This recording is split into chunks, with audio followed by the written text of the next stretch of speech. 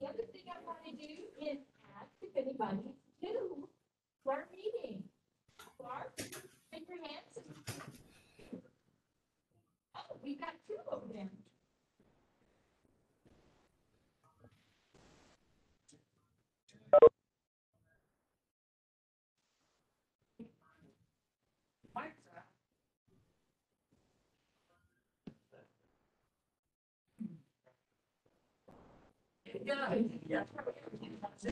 If you could say your name and what scale you, um, monitor.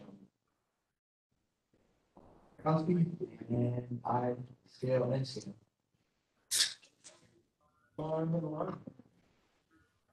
Marvin Market, I know that name, he's a train vendor. Yeah. Okay. All right. Okay, good one now. Good one first. Hey, you wanna talk about show? Yes. Song.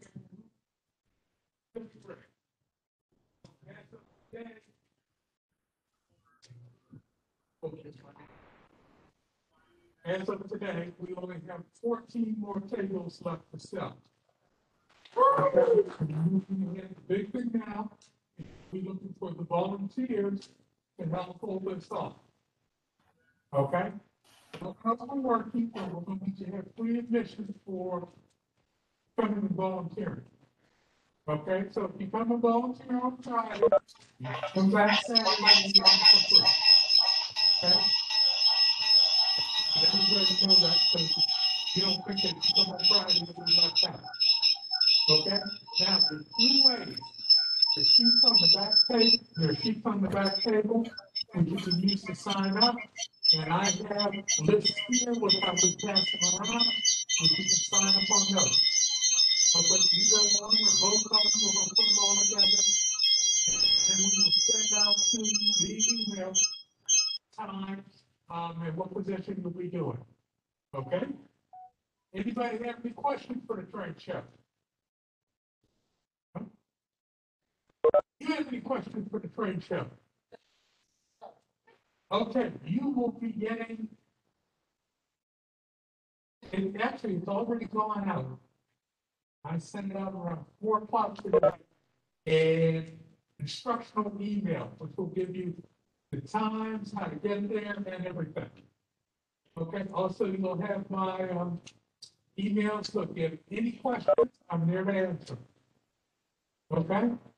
But we're, we're, we're working on it, where people, we have a lot of people out here, so we're moving forward. All right, okay.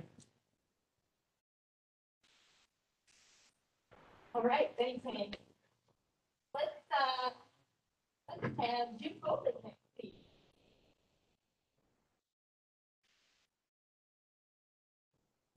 So first, thanks to the twenty-five folks who have already signed up to support the Piedmont pilgrimage.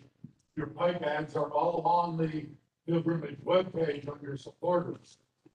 If you would like to have your pike ad added to the supporter page, I'm the person to see.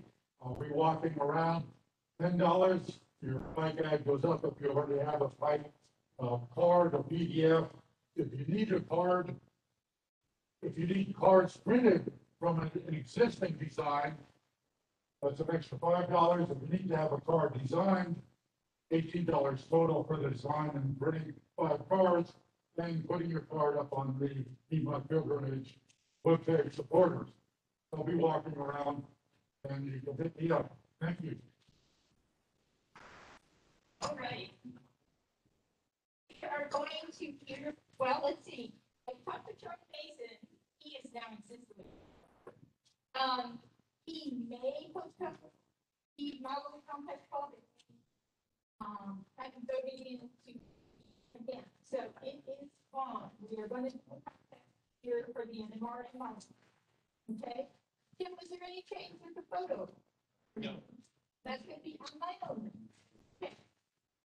Your photo content, you need to go on, the rules are there, and you can, um, submit to, um, Jeanette. Uh. Um. George Knoxville. Okay. Have flyers for the train show to go to. It's my favorite. Uh, let's see, um, they're doing the M and M convention the week before our train show, so they're, uh, um, hand out our train show flyers during their convention, which is very nice. The, oh, okay, okay, so it's this week, so it's two weeks then.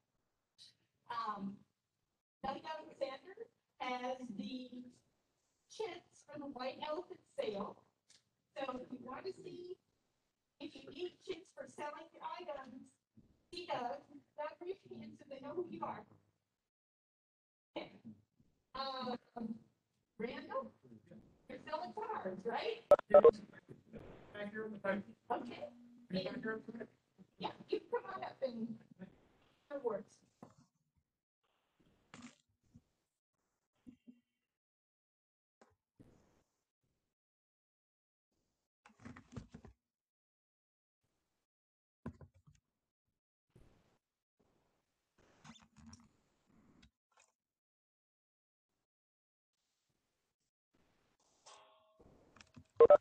The two together. My name is Brenda Watson. I am your Region AP Manager. I am standing in tonight. Mason is in some country somewhere in this world, which I do not know where he is vacationing, and I have a Golden Spike Award sent to one of our Region members tonight. For Anybody that doesn't know anything about the Golden Spike Award, it was approved by the National on January nineteen eighty-seven. Golden Spike Award's been around for a few years. They thought that it would be a good idea of having awards as an entry level to the achievement program. Now, anyone in good standing does it take a committee member of your division AP program, Charlie is the chairman, does it take one of those members to evaluate your layout for those spots? Any member can go in and evaluate another member's layout for the Gold Spike Award. And there's several rules that you need to qualify for. You have to have six units of rolling stock, has to be something other than shake the box. And that's by putting Kadee covers on it, metal wheel sets, little weathering, and that would qualify. You don't have to have a judge, don't have to see them run on your layout, display. And the second element of it is scenery and structures. A minimum of eight square feet. That's very small, that's all you need. You have to have five structures, they don't have to be scratch built. Just put on your layout, a little weather on it, that qualifies. Civil and you have to have three types of traffic, It don't have to be the same three types of traffic, it can be three or six turnouts. That would qualify for it. And there's one other element, that you have to have one other electrical component-. It could be a torch switch motor, it could be a signal, it could be an LED on your fascia. Okay, would qualify. So the regs for the Spike is very simple. So tonight, it is my pleasure to send Golden Spike Award to the division member Gary Fish. Gary, will you come up, please? Gary, congratulations. Hard work. Bring your time, sir. And Charlie, here's your envelope. Sally, thank you so much.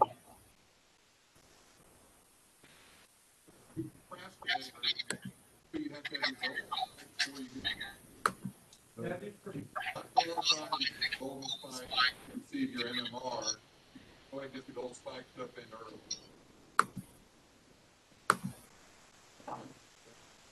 Okay,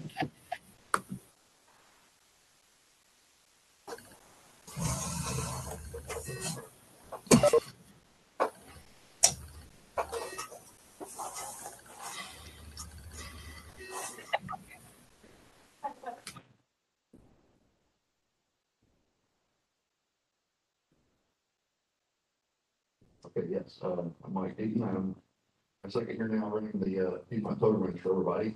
Uh, we're gonna have a real one this year with people, uh, different houses and person guests. There'll be some COVID restrictions, which will be posted on the website along with all the other information on our tours. Uh, but just for those of you who haven't been caught up on the Photo- Piedmont for this year, we are having our open houses, uh, beginning on Saturday, October twenty-third. Going, uh, Saturdays and Sunday weekends there through, uh, Sunday, November twenty-first. So wrap, like wrapped it all over the metro Atlanta that we could. Okay, so we're gonna have, uh, at this point, we have thirty-six open house tours on the schedule. And we're gonna have seven virtual layout tour videos that are new this year. For those of you who were kind enough to do a video last year, those are also on the website. We have a special page that will take you to our YouTube channel, uh, where those can be viewed. So all uh, and the 50, 60, something we had last year, uh, will also be available for people to go to uh, YouTube channel and view those.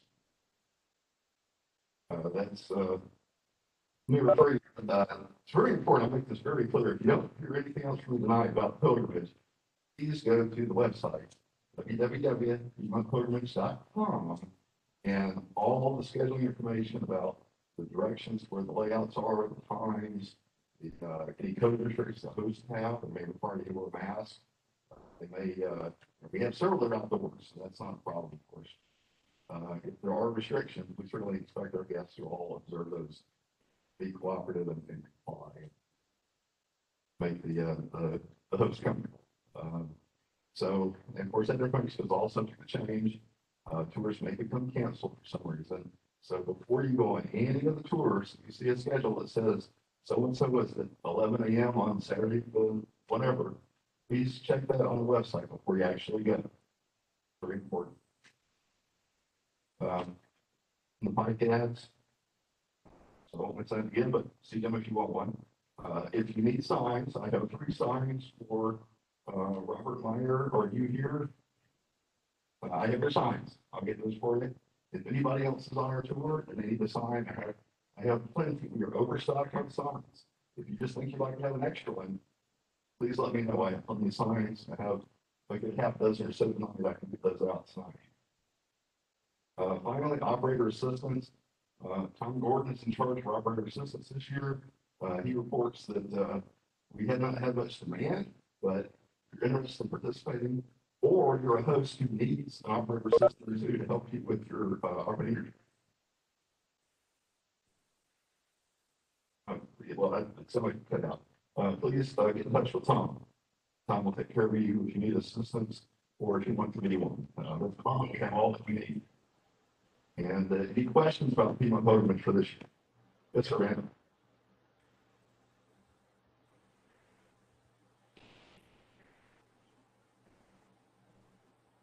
Me, contact me. Anyone, if you got any updates, this month, the slightest little thing on what Everything is up on the webpage now except for the, the seven videos. All the open houses are posted. Go to the website, if you're, if you're a host, see what's there. If you want to add anything, change anything.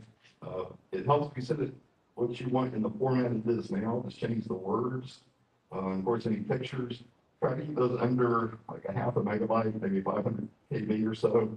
Uh, they get too big, slow to load and it bogs, bogs down the website. Um, but yeah, send that to me randomly.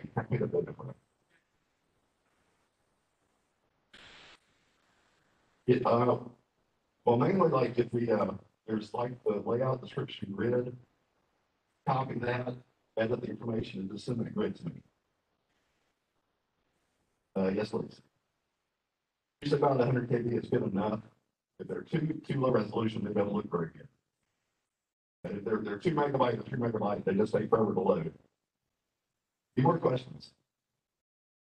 I want to thank my volunteers for hosting this year. I know with COVID, everything is kind of uncomfortable and scary at times. Uh, if you are a host, you decide you're just not into it, you just don't want to do it after all, just let me know as soon as you make that decision and we'll mark your, your tour as canceled. But we, we hope this is going to go forward. People all being great, cooperative, and I'm, I'm kind of thinking with what's going on, it's not going to be too crowded. Um, but never know. So prepare for the worst.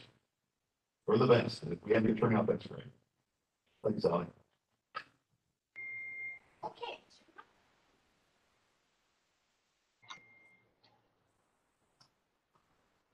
Just briefly, the Southeastern Railroad Museum in Duluth started a five-year college.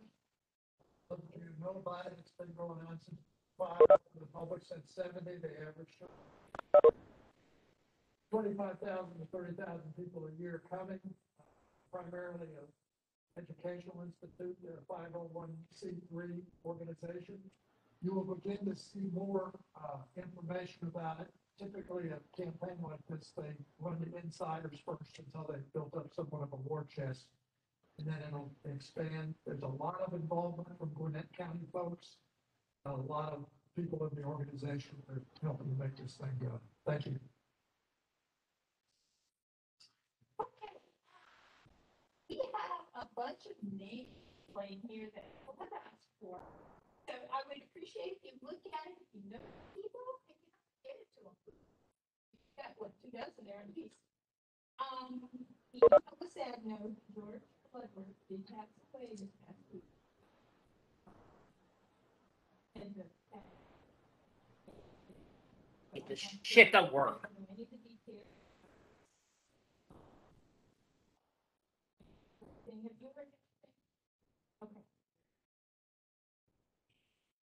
Public. Okay, okay, so anyway, just wanted to pass that along to you.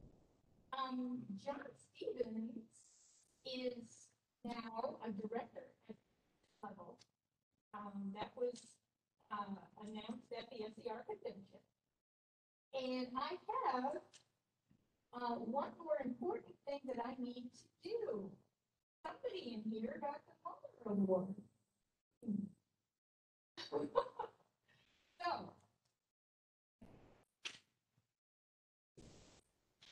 The SER convention voted to give you the Mueller Award.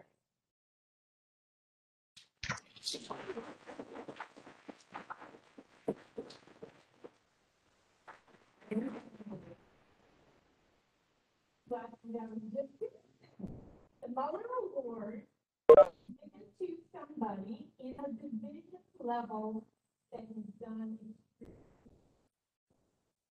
They're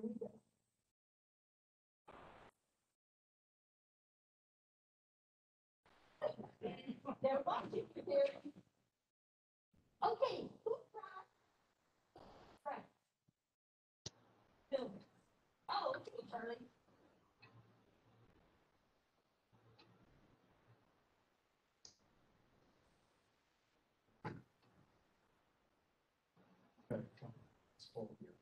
Well, they, Sally said to bring, um, buildings, whatever, that have decals or dry transfers on them.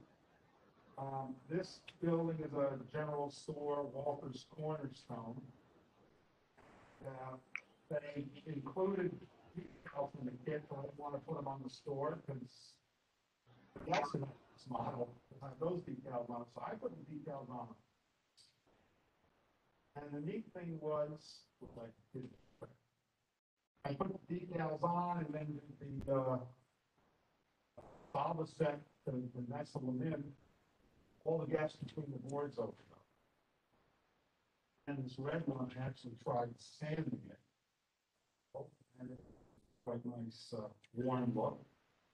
Uh, on the general store, these were, dry transfers from Clover House, just old time. Except, uh, there's a paper sort of poster type thing. Uh, generally they're too thick, fine. So you have to sand them with a fine sandpaper, get them thin, soak them in water, put them away from nestle in the clappers quite nicely. And the last one, the same kind of thing, um, this is a paper ad, sanded it thin, and then put it on. the Two examples of decals and, uh, dry transfers mostly.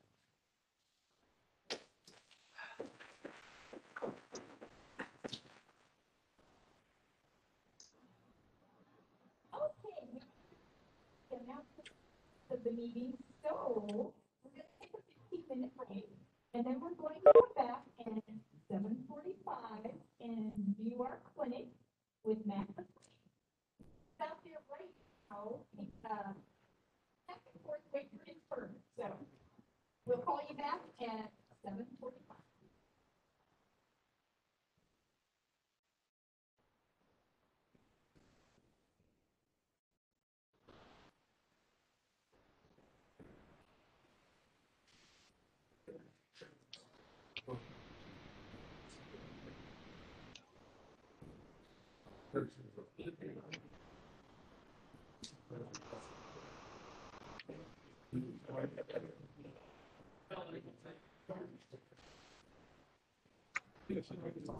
Yeah.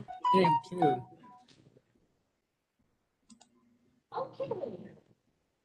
Is Matt McCann, and he. Shows, right? Okay. He does paint and decals and with that kind of stuff. Here you go, Matt. So first of all, the question, we also need this or vote, okay. So we'll have to hold that in organized. The speaker. Appreciate being here tonight and sharing a few thoughts. And me. I wanted to thank Sally for inviting us. And also just a little clarification, the details and paint White's idea the business. So we started a business, but, uh, he lets me come and do these kind of presentations. So with that, we'll get started. Any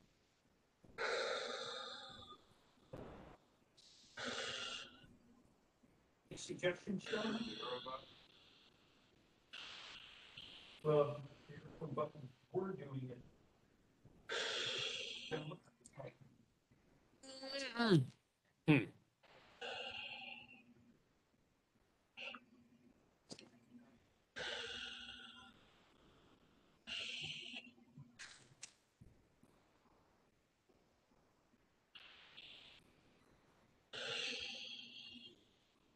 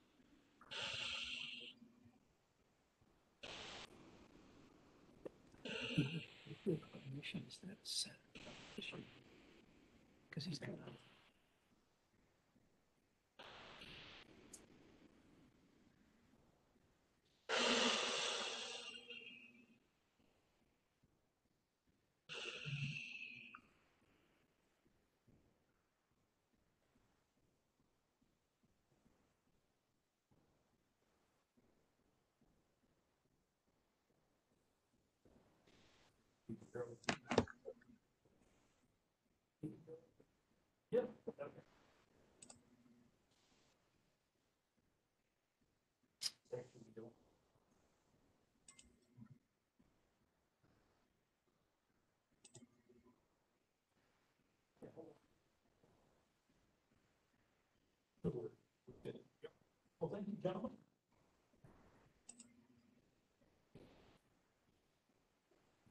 To go here again. So, as modelers, one of our goals is to build nice kits or scratch build of it. Want to some lettering, you that lettering is on the with details.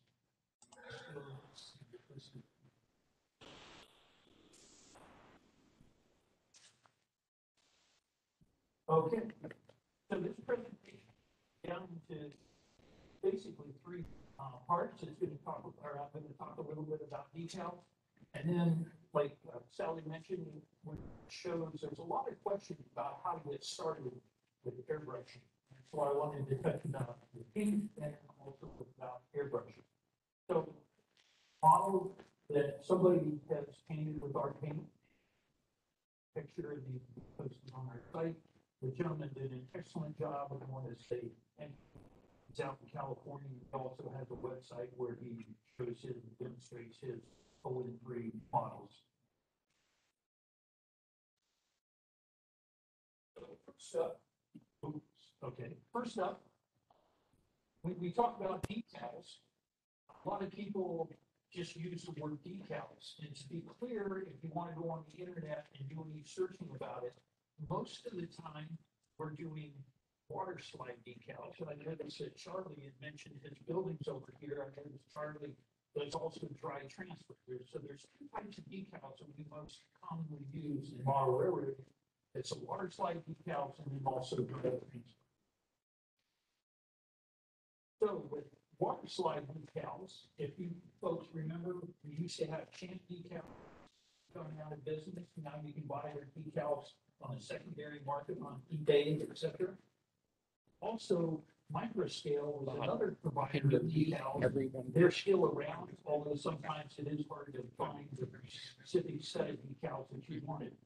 Both of these are water slide decals. There is a new game player in town, uh, probably from the Kitchen Train Group that makes a lot of nice little train car kits, etc.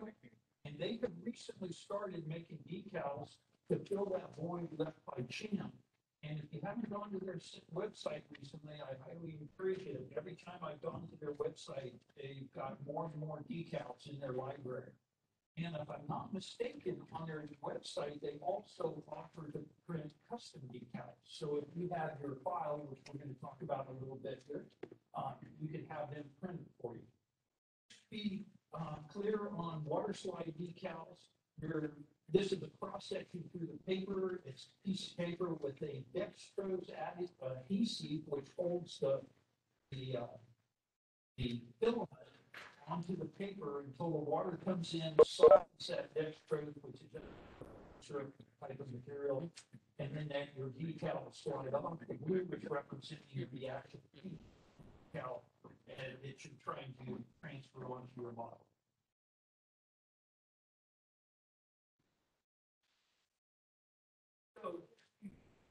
Just to highlight a couple of other manufacturers, Woodland Scenics provides dry leather dry transfers and also Clover House, another maker of dry transfer house. Uh, usually people prefer one or the other. I know some people like the dry transfer. They're actually very simple to use, but sometimes they of the larger filament on the model instead of going down onto the model like you can get with your water slide decals. So, if you want to make your own decals and print them, one of our biggest problems having white pigment because pictures typically do not have white pigment. So anybody in the steam era, that was a real hangup because back in the steam age, they did a lot of painting cars or labeling with white paint. That seemed to That's the view.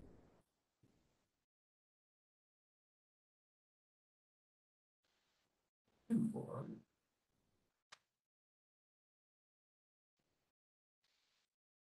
So that's- Hmm. So, Skipping a little bit further than I wanted, but, um, okay. We'll go with this slide. Um, it used to be in yesteryear, a lot of people would refer to Alps printer in order to print white decals. Uh, the Alps printer was almost two decades ago now, that's a long time ago. It was a company out of Japan. It's the Alps Corporation, and the system was called Micro Dry, in case you want to look it up. Internet, that is the keywords to look for. And they actually had a ribbon cartridge that would slide in front of the head, and then that's how you would transfer ink onto the decal paper. These printers are still around. People will print decals for you. They're advertised in model railroad magazines, etc. And this car here was printed with, or I should say the decals were done with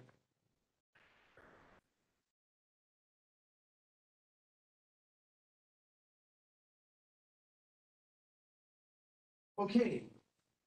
Micromark, if you're familiar with them, they came out a while back with a printer cartridge. Anybody familiar with this? Did anybody get one or try it? I been kind of curious. They advertise them, um, not here, okay.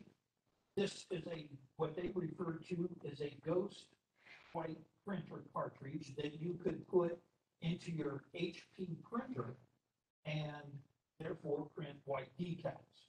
Now, when this concept is used, because there's also Xerox does a similar thing, their printer's about seven thousand dollars. These are much more reasonable in price, down in a few hundred. But as I mentioned, this printer is no longer made, um, unless you can find one in the secondary market someplace. So, um, for this Ghost White cartridge, what I came across was this company, which is actually over in Europe, and the, in case you have to get a, this presentation, it's up in here where I did the search, and it's ghostwhitetoner.com. European com- company that makes that Ghost White cartridge. And if you go to their support, they actually had a number of printers that they actually make these cartridges for. Now, I say make the cartridge. My discussion with them and what I gathered is, is that they're taking recycled cartridges and filling them with white pigment, and then they're putting them back out on the market. So they only do it for printers that they can get a lot of cartridges for. So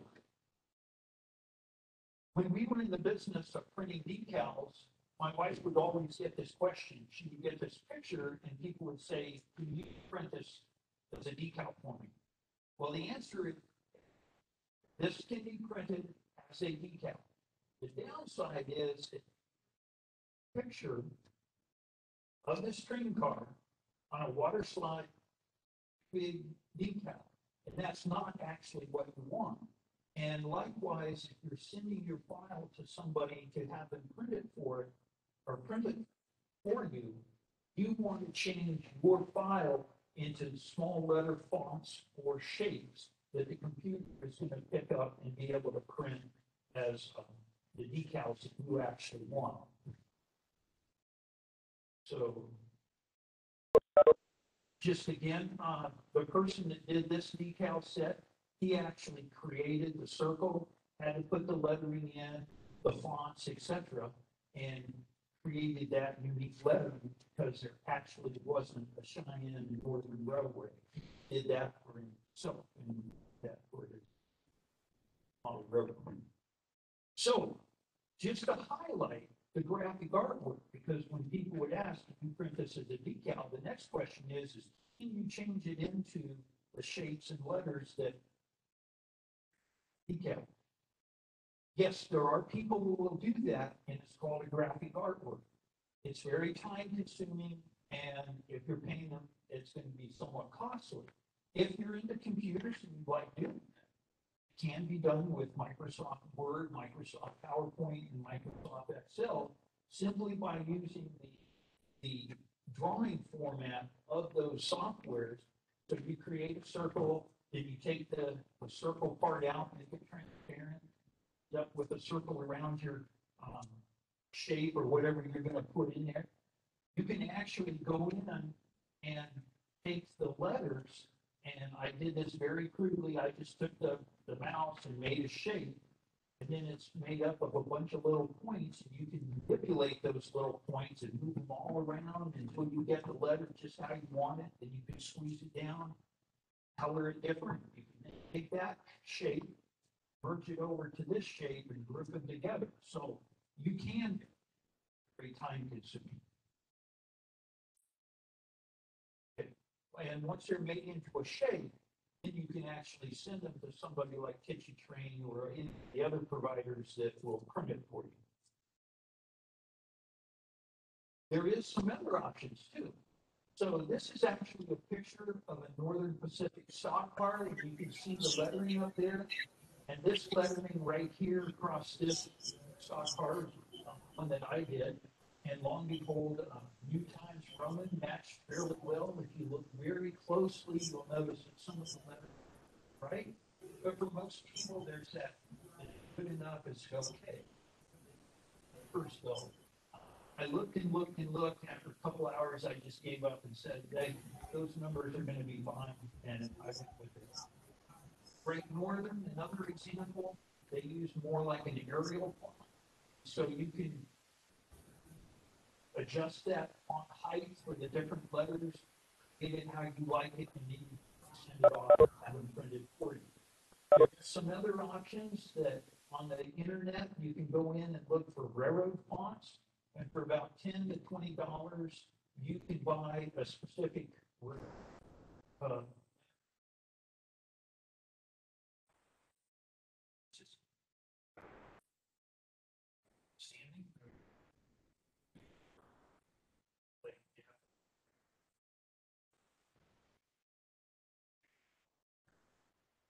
Oh, okay.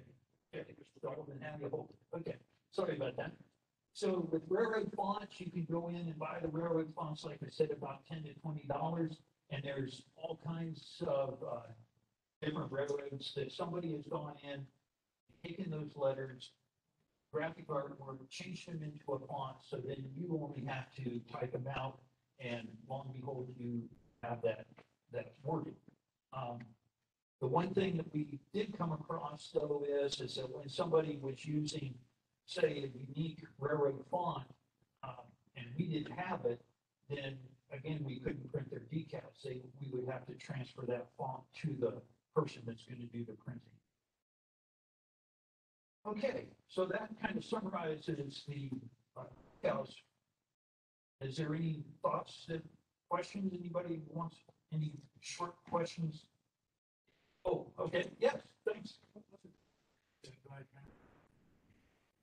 Water slide. Okay, so I, I showed that cross section, the water slide.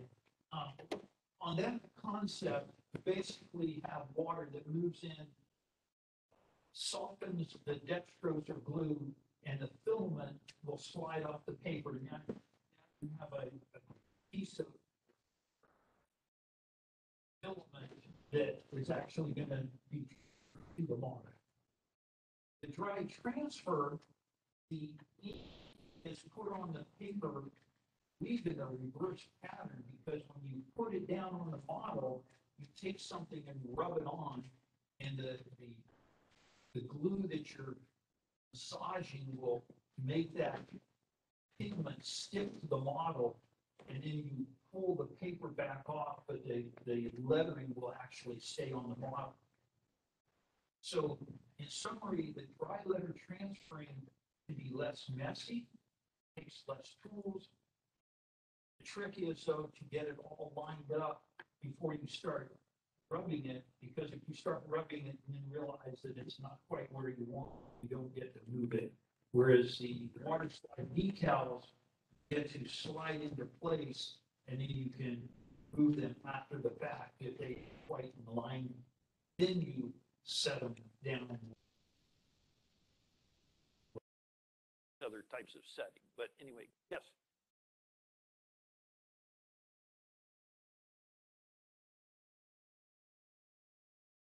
Uh, actually, the champ decals I have that are basically that old, the champs held up fairly well. Did yours tend to break up or? Okay. Yeah. Well, the champs I have found did fairly well, even as old as they are. The micro scale, though, that I've I've got, some are as many as 30 years old. I found that those tend not to hold up near as well. They're very, very fragile. Um, handling very carefully was the secret. Although honestly, I don't know that I would do it again. If they're if they were that old, it was just too much um, frustration compared to the benefit. One other, and it's a good point you bring up. There is a difference between microscale and champ. Microscale actually puts down some kind of a, a mastic material and then put the decal on top of it. So it's not the plastic filament that most people consider when you talk about water slide decals. This, it was a mastic that they sprayed down and then it hardened in a clear, I suspect, uh, um, like what we're going to actually talk about paints, it's probably some kind of an acrylic plastic that they spray down and it dries. So good question though. Yeah.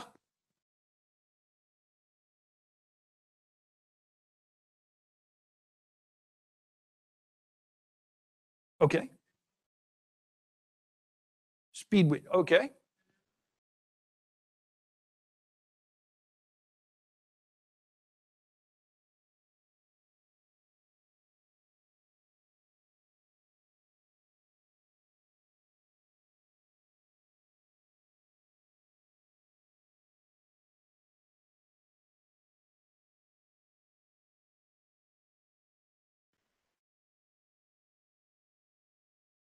Okay. Another, another option and, um, you know, these, these things are great and appreciate it. Um, especially if you had models to share with us that, that, uh, showed how that was done, that'd be great. Uh, yes? What's that?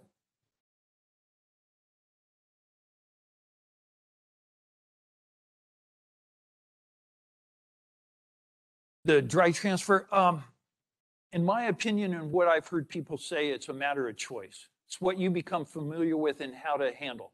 And as we, as we move on to paint, um, you're going to find there's a lot of personal preference on how and what to do. So, um, okay. So when we talk about paint, um, yes, I'm sorry. Well, and again, that's, that's kind of that tricky statement. My wife didn't want to create the decal. She only wanted to be able to print the decal for people. So you, the person themselves needed to create the decal, and then she was just a printing format. And that's really relatively inexpensive. But go ahead, what was your?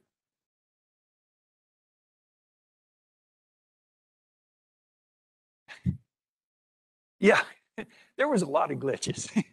uh, one thing that we ran across that decal paper here in the United States is no longer available, which was really uh, a, a heartbreak because when we started, there was like two or three manufacturers and um, they started going out of business and we would have to go to the next decal paper company and the price kept going up. And every time you would go to a new decal paper, you had to do all the testing to make sure that it would work, whether, it, you know, thickness was also another issue that came into play. Some of them had a lot thicker filament that just wouldn't lay down. If you've ever used Champ decals, and on the picture I had there, Champ decals used a fairly heavy filament.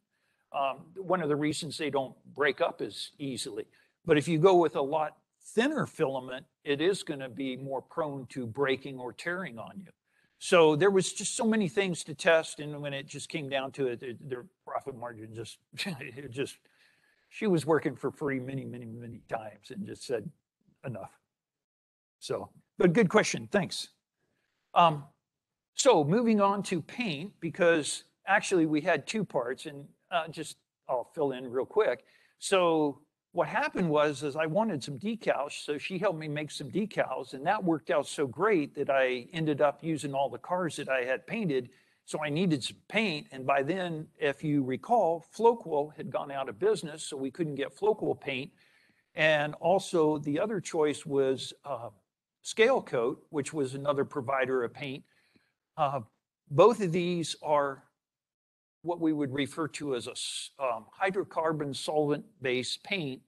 And you also might be aware, and I'm just tossing this out as a tidbit, if you were using these two different types of paint, even though there were hydrocarbon solvent-based paints, you weren't supposed to mix an enamel paint with a uh, lacquer paint. So Floquil, the takeaway from this slide, Floquil is a lacquer paint, Scale Coat is an enamel paint. So you didn't want to mix them. And the most important thing on that slide is that when you use this type of paint, it required very good ventilation. And if you know now that the hydrocarbons that were used in this paint, is this, yeah, when the hydrocarbons used in this paint can be hazardous. And um, yeah, just that note over there that you can't mix the two.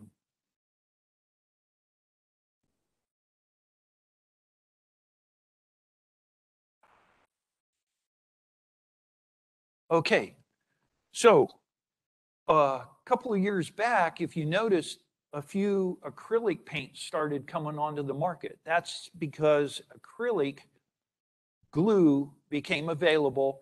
And so different paint companies started using it. You started seeing the acrylic colors start, start to show up in craft stores. You also noticed that your paint that you would buy at the big box uh, hardware stores like Behr at Home Depot, uh, they kept getting better and better, on different levels of quality of paint, which we'll cover here in just a few minutes. But most important when it comes to acrylic paints, they're very low odor. Um, and in fact, there's really no harmful chemicals associated with them. I know that, for example, the acrylic paints that they sell at your craft stores, technically you're supposed to be able to eat them and not have any problem. That's one of the reason they get to be at the craft stores.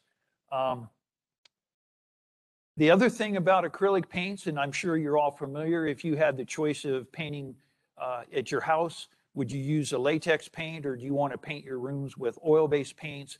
And most of us all use latex paints now, and the reason is is because it's so easy to clean up. And again, with uh, acrylic craft paint, so much easier to to clean up after you're done painting.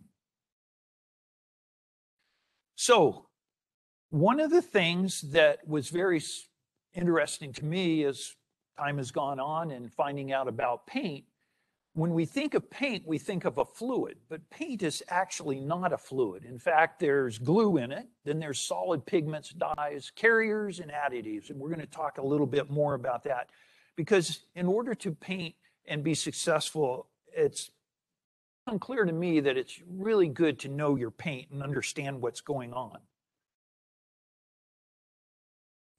So, first up are the pigments. So, the pigments are like, for example, when you paint white paint, you're using titanium oxide, and you can just look down through the different compounds here and match it up with the different colors that you have. And so those are the different compounds that are being used. But to keep in mind, these are pigments. And when I say pigments, these are actually little tiny pieces of material. They're, they're ground up very fine. And another thing to keep in perspective, the finer the pigments, the more expensive. So when you buy a can of house paint and you see a crack in your wall when you're painting and you want to fill that crack and you could swipe your brush across and it filled it up and you're going right on. I didn't need to put it spackle and fix it all up. Well, that's great, but those pigments are a lot larger than when you take the pigments in your hobby and you smear it on your model and it'll cover up all your cracks. You don't want that. So remember those pigments are uh, a big player as far as how fine they are in order to use them in your, your modeling. Another thing that was kind of interesting, uh, anybody familiar with SG, the acronym SG, the um, stands for specific gravity? Do we, you know what specific gravity stands for? Okay, so a number greater than one means that it's going to sink in water. A number light, uh, smaller than one means it'll float in water. But notice these different specific gravities of these compounds. If you ever pick up a black bottle of paint, you'll notice that, that it seems to distribute fairly well when you shake it. Um, the specific gravity for carbon is down around two to three. So it stays suspended a lot easier than something that's got a specific gravity of nine, which is going to settle out rather quickly. Uh, just to summarize here, in case I don't mention it later, one of the more difficult things about acrylic paint is, is you've got to mix it more. Keep that those particles in suspension. They don't necessarily want to stay in suspension.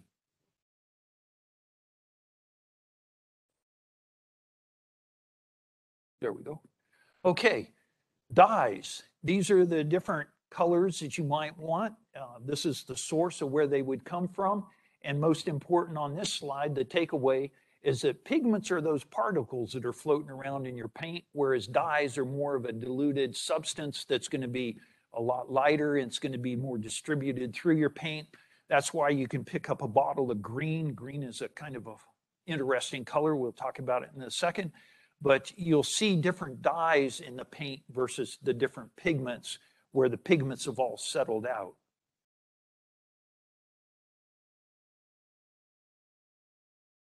Find that magical place where I'm supposed to touch to.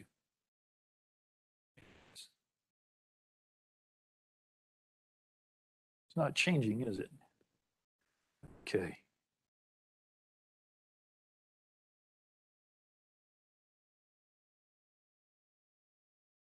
Hmm. Okay, we'll try. Okay. Sorry about that. Okay, so one of the other interesting things, remember back when we were all in grade school and the teachers told us about primary colors? You had red, blue, and yellow, and you mix them together and you'd get purple if you mix red and blue, et cetera, et cetera. Well, one of the most interesting things that I've found frustrating was when you tried to mix blue and yellow, you did not get green.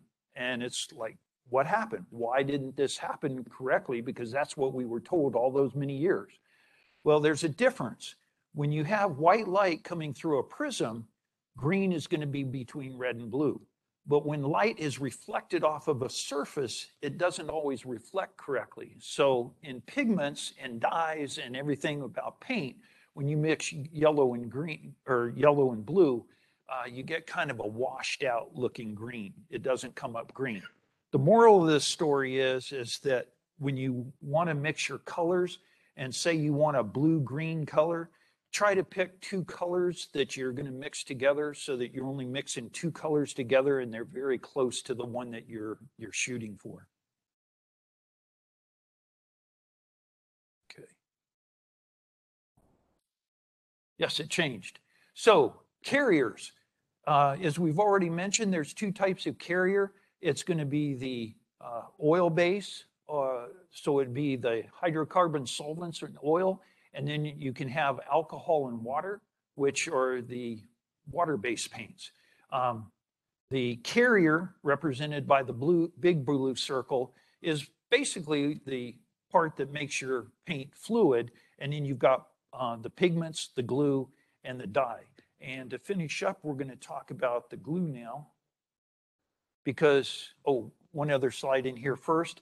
Uh, water-based paints. So just remembering back the years that you remember water-based paints, everything, everybody called them latex, um, represented water-based paints.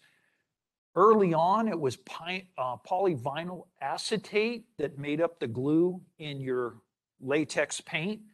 Uh, surprisingly, polyvinyl acetate is a water-based, but I should say water-soluble glue, and that's why it was always considered latex paint was for interior is because you couldn't use it exterior because the glue was water soluble and would wash off. Along came a polymer uh, referred to as an acrylic polymer. Um, they also sometimes call it acrylic resin on the internet. And this material actually is resistant to water once it's cured. And we're going to talk about it just a little bit more here.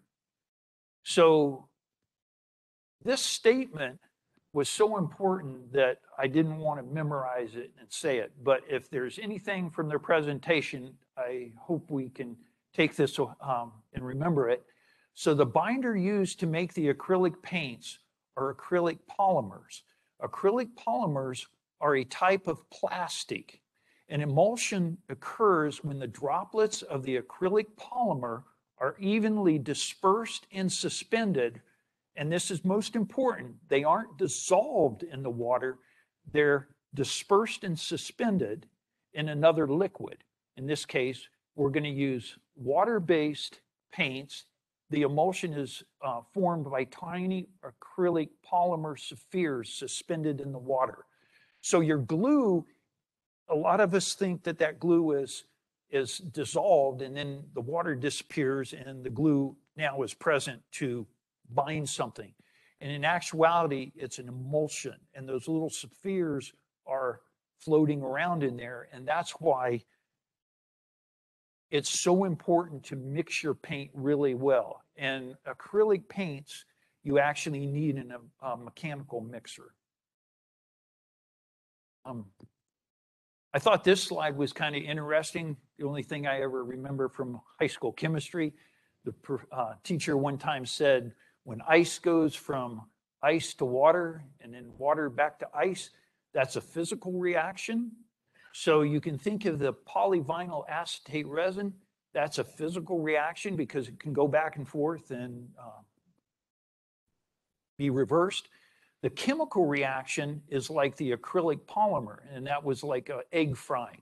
So when you fry an egg, it always stays as a fried egg. It won't go back into a soft egg, and that's a chemical reaction. Uh, one of the other things that uh, they didn't talk too much about in high school chemistry, but they talk a little bit more in uh, uh, college chemistry, is when you have a polar attraction, and that's like a magnet. So your little molecule, in our case, we're talking about those little spheres of glue that are um, the the acrylic polymer. It's going to have a little slight charge po- potentially. So when they sit down on the bottom of the bottle, they don't go back in suspension. Uh, one of the benefits of the solvent-based paints like scale coat and Floquil, those paints go back into suspension very quickly, very easily, but acrylic paints won't. Um, also molecular attraction, that's when the two little particles just don't have enough fluid to distribute and they just like each other and so they'll stay bonded. Again, the emphasis here is, is that acrylic paint takes a lot more energy in order to put all those little particles back into suspension as well as create that glue back into the emulsion that you would want when you spray it. Okay, so in summary, if you go to airbrushing and you're having problems, initially there was three suggestions that I had for you. Dilute your paint, dilute your paint, dilute your paint. It, it was pretty simple. 90% of all your problems would be solved if you just keep diluting your paint. Now, in actuality, you dilute your paint a little bit, you can mix your paint. Now, diluting your paint, why you would do it just a little bit, they called it refreshing your paint. And so you put in just a little bit of, of carrier that's going to dilute your paint, and that causes that molecular and polar bonding to be disrupted. And so when you mix it, it just dilute or it mixes easier and faster. Uh, so a mechanical mixer, then you want to filter your paint because that's always good when you're going to use an airbrush is to filter your paint. And then if in doubt, dilute it. If in doubt, dilute it some more. It's just great to dilute your paint.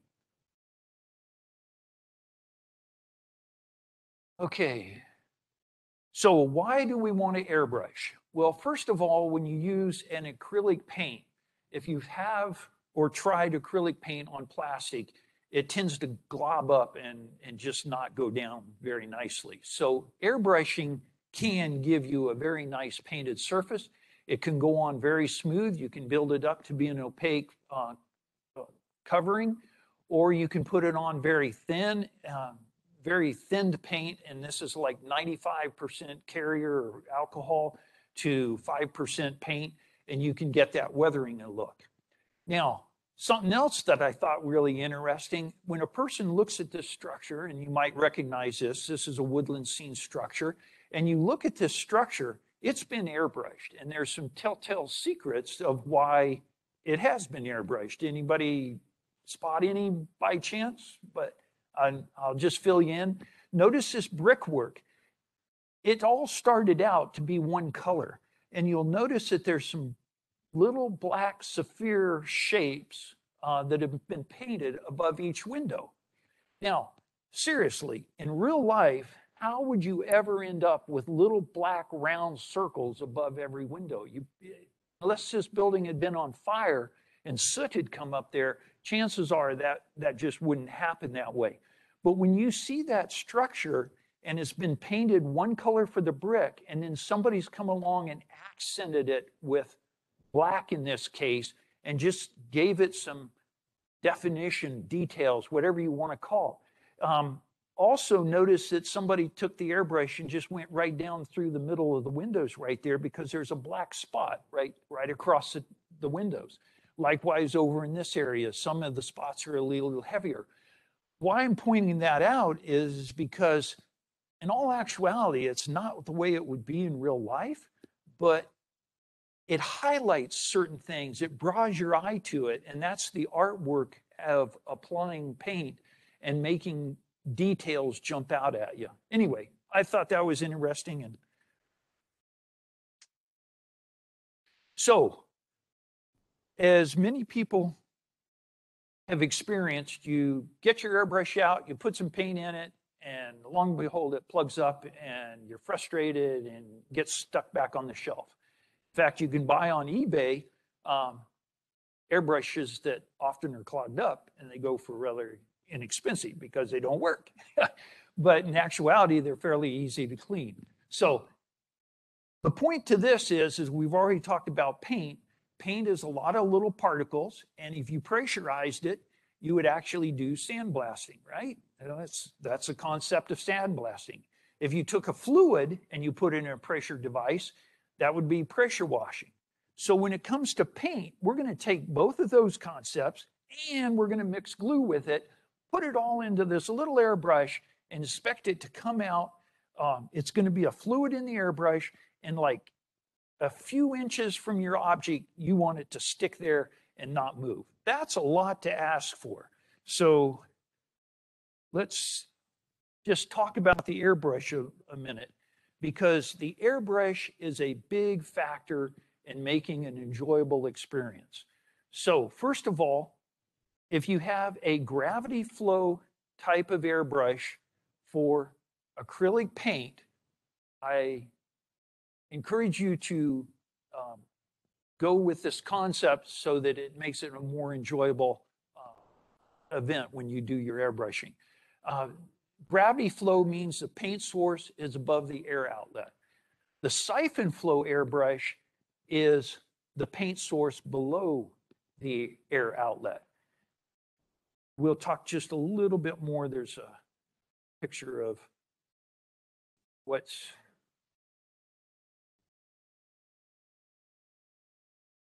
Okay.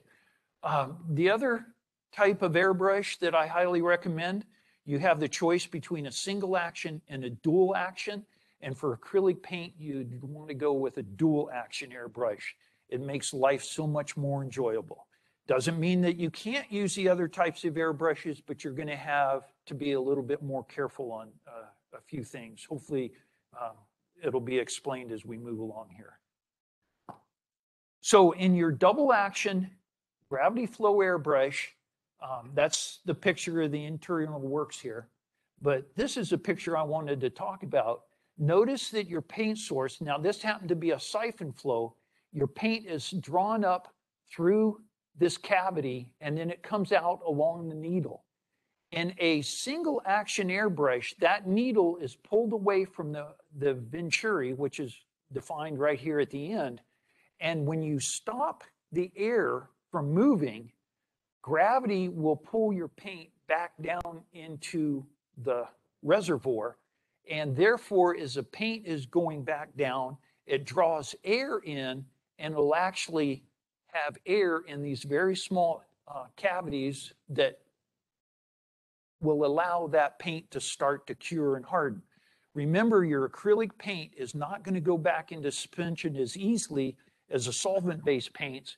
And so when you pull the knee or when you start the air flowing again and it has to suck that paint up, you're going to get that scum that started to dry and it's going to get right down here to the tip and it's going to plug up your airbrush. The double action airbrush actually moves the needle down into the tip and closes off that little venturi, the hole where the paint is, and it closes it off and acts as a valve so air can't go back down in there. Very important to help you when you're, you're um, airbrushing. Uh, this is just another picture. When you're airbrushing with this type of an airbrush, the air is flowing around the internal um, venturi there, and it's pulling this paint down along the needle. It pulls it down to a very fine point and then it creates this cone. Whenever you see painting or work done like this, you can tell that this was done with a double action airbrush because they start with a very small amount of paint by just barely pulling the trigger back a little bit. And you can make larger and larger uh, uh, dots. And then th- this is called artwork because this is called the dagger stroke. And once you master the dagger stroke in airbrushing, then you can kind of consider yourself an artist. When you when you look on the internet for how to do artwork with airbrushing, this is this is one of the keys. Do a dagger stroke and be able to do that, and you're you're on your way to becoming a famous artist. Okay. The last one is internal mixing airbrushes versus the external. Uh, the only reason I wanted to show this is that when you look at a lot of videos on metal, um, model railroader, uh, that they they show the guy that's always doing those always has this type of airbrush. He uses a lot of solvent-based paints, and I'm saying that hey, that's great for solvent-based paints, but if you're going to use acrylic paints, I would shy away. I would shy away from it because again, your paint's going to go back into the cup. It can harden, uh, creating that scum that's going to get blown out. Um, and also, one of the other things is the needle is protruding up into the airflow. And as the air goes around the needle, it can also cause some uh, funky things happening in comparison to a needle where the air is coming out all around the needle. So internal versus external. I recommend the internal, but that's actually uh, simplified because if you go with if you go with this type of an airbrush with the gravity flow, it is going to have the internal mixing uh, aspect. And they also need to make it double action because they need to move the needle down into the nozzle so the paint doesn't just all run out the, the end. Okay, so gravity, gravity feed, double action, internal mix. Okay, so it might sound like I'm trying to sell airbrushes, but in actuality, there's many places to get airbrushes. Some of the different manufacturers, Paasche, Iwata, this Aztek came out a few years ago. Never heard much about them. Um, they, they didn't seem to catch on a lot. But I also remember Badger, and I'm sure you do too. They they were around in all the hobby shops. Everybody that wanted to airbrush 30 years ago, we, we all started with Badger airbrushes. Um, this Iwata is kind of considered the the hallmark of excellent airbrushes. They're quite spendy, but if you ever find an artist, they'll usually always have an Iwata. Uh, they're very nice. I actually used one one time and it was like, wow, this is like the most machine prestigious piece of equipment I had in my hand. Um, that's nice, but they're kind of spendy. I wanted to also emphasize though, Master, quite inexpensive. So you can get the whole airbrush, needles, and a hose, a quick disconnect, a really nice little setup. This is, I just cut and paste this off of the Walmart's website and you can get it for $40. It's very inexpensive. So your question probably is, is, so what's the difference in your airbrush? Well, it comes back to a very simple that the more expensive the airbrush, you've got machine parts versus stamp parts. These are made of brass, they're stamped. Uh, they, these are got machine parts around the nozzle. The nozzle is very carefully placed into uh, the head of the, the airbrush so that you can make that dagger stroke very nicely. These will also do it, but not quite as perfect. But then you have to ask yourself, are you an artist or do you just want to paint something and give it coverage? You can do this kind of artwork with a very inexpensive airbrush. So um, that's the takeaway from that slide of uh, got a whole price range and this slide talking about your air source, because this is the old compressor that we used to have out in our garage. Uh, a lot of people are familiar with that, and if you were going to do airbrushing, uh, that was basically what you were looking at getting. Uh, what's transpired, I actually missed a slide here. Well, rather than going back, because we're kind of getting short for time, what's transpired in the last few years is this little setup that has become so popular is because the makeup industry and cake decorating has become so popular that these are being mass produced at a greater quantity and therefore the price has come down substantially. And so you can get the airbrush, double action gravity flow, and a little compressor for about $60. So this will set you up so that you can do painting and uh, our building like the Woodland Scenics Building. This little system would do that very nicely at your kitchen table using acrylic paint because there's really no odor and no mess. Uh, just a couple of things about air pressure. So this little system is going to be about 15 pounds of pressure. It's a little slower in coverage, but it does work great for weathering and small projects. Uh, you can start going up with a table air compressor that uh, a lot of paints are geared around about 20 to 25 pounds of pressure. Uh, when you get up to about 30 to 50 pounds of pressure, bad things start to happen because you're starting to sandblast and water pressure and it'll make your weight or your paint start to have waves in it. That's what they refer to as orange peel sometimes because your paint's starting to get plastic or it's starting to set, but then you're hitting it a lot with air pressure and all those little particles and they're actually like little particles going in and splatting on the moon and you're ending up with little craters.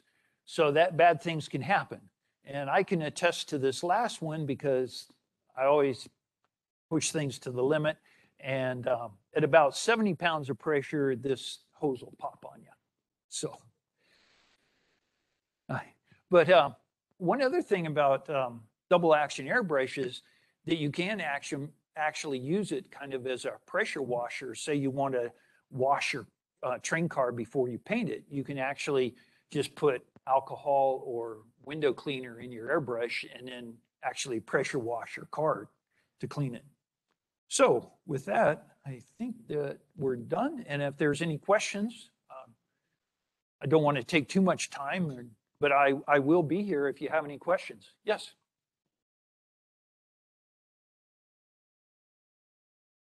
Yes, the Micro-Mark just advertised one not too long ago, and I've seen them on a couple of other sites. Yes, yes. I, I haven't experienced. My understanding is it's a, a it's a battery, and so what they did is they well that that small air compressor when you when you take it apart and look inside, it's actually just a very small little uh, piston motor that's going back and forth. Um, that one happened to the one I showed you there. It's very small. It's a fits in your hand. Um, so they just took that little air compressor and put it in the bottom of a little canister that's about the size of a Red Bull can. And uh, then there's a lithium battery. So it's on demand air pressure that's right there in the, the handheld unit. It just depends on whether or not uh, you you don't mind or whether you don't want to be tethered to that air hose. So I, I suspect it is the same air compressor in both of them. They're they're, they're very small. Anyway, yes.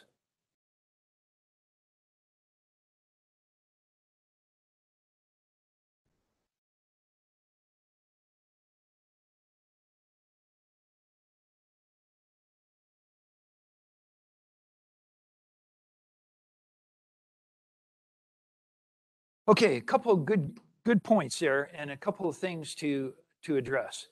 Um, yes, Floquil was a flat finish, and so yes, we wanted to put down a gloss finish to make that decal film fade away. One of the things about acrylic glues is they tend to have a semi-gloss finish. And if you've used them, you'll notice that that semi-gloss does a real good job of hiding your decal film. There's another benefit too, because now you're working like water slide decals, you're working all with water. When that glue, that acrylic glue that we talked about, isn't quite set up and you float your decal onto place and now it's all drying, that glue actually helps hold on the decal too.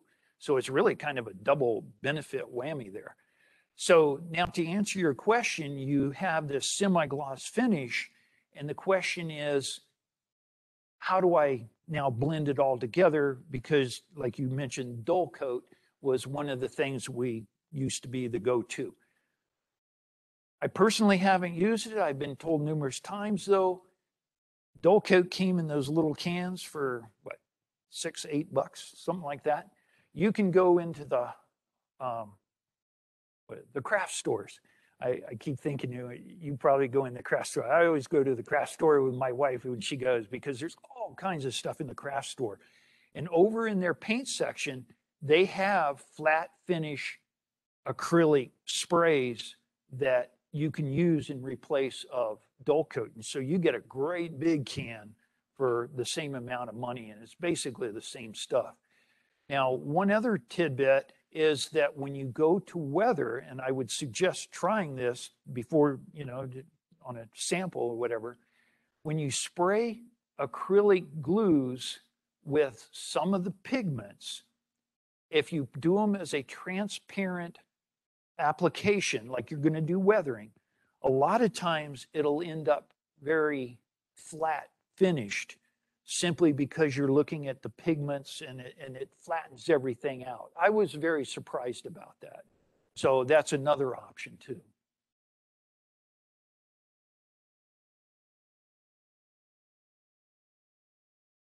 Uh, I have used the rattle can, but I actually have gotten to the place where I just use, well, I call it dust. That's our color but the dust has a lot of that titanium pigment in it and it's got that acrylic glue and if you're putting it down transparent it will end up looking like a flat finish. Um, just a little side tidbit if you ever want to mix up paint and everything talcum powder is actually what you can use to make flat. So if you have like a gloss acrylic glue and you mix talcum powder with it it'll make it flat so.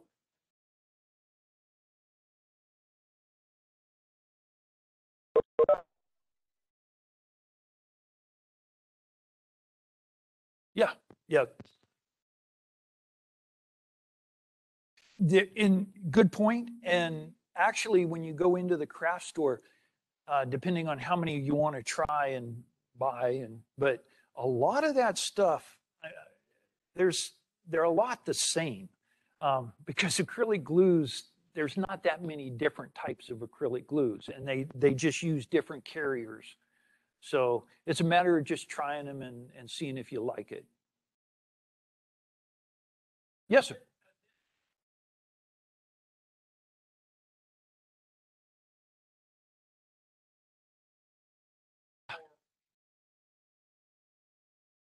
Yeah, yeah, and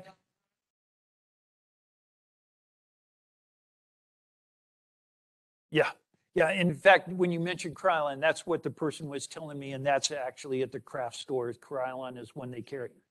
And yeah, well, that's four dollars. But one of the things Sally will also tell you is, is that when you go with your wife, she can use her forty percent coupon, and you get to use your forty percent coupon. So it's really quite inexpensive. So, so anything else? Well, my pleasure. I appreciate being here tonight. Thank you. Thank you very much. Yeah. Okay, well, thank you. Have